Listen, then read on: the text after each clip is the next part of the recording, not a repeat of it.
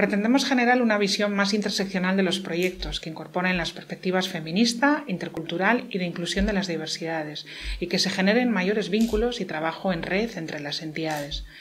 Hemos buscado potenciar el asociacionismo, reforzando la idea del fortalecimiento y, a su vez, financiar proyectos de mayor calado que generen mayor cohesión social. Para ello contamos con más crédito que otros años, se ha simplificado también la convocatoria en dos líneas y se facilita la justificación y los plazos de ejecución y se cuenta con criterios de valoración unificados. Además, se incorporan nuevos ámbitos de actuación como el envejecimiento activo, la prevención de adicciones y gestión de las emociones y la educación en valores, entre otros.